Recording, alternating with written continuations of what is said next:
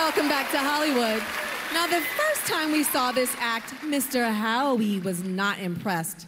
But whatever, whatever, because they blew the other judges away with their incredible energy and their dance skills. Here's the PAC dance team, Howie. This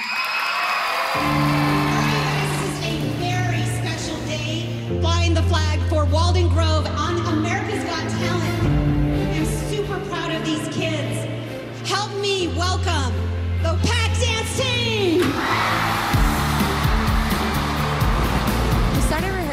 storage closet, kind of the underdogs of this high school. But now we're running in front of the entire school like the football team. and it's just beyond what we've ever imagined. In judge cuts, Howie hit the X. This show is so much more than just a high school dance team. Howie, you're wrong. Like, no, we're not just a high school dance team. People do underestimate us, but we are dedicated young dancers. Our whole town and community are behind us We're definitely gonna step up our game. because we want to prove Howie wrong.